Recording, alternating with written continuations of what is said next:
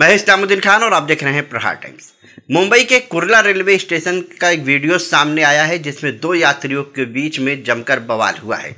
ये किसी फ़िल्म की शूटिंग नहीं हो रही है, बल्कि रेलवे स्टेशन पर जमकर मारपीट हो रही है। बताया जा रहा है कि लोकल ट्रेन में चढ़ने के दौरान दो यात्रियों में बहस के बाद मारपीट हो गई।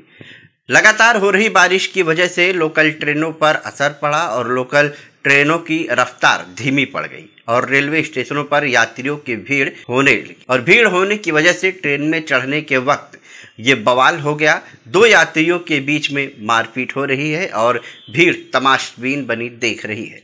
बताया जा रहा है कि मारपीट की जानकारी लगते ही रेलवे पुलिस भी पहुँची और दोनों को पकड़ लिया गया है।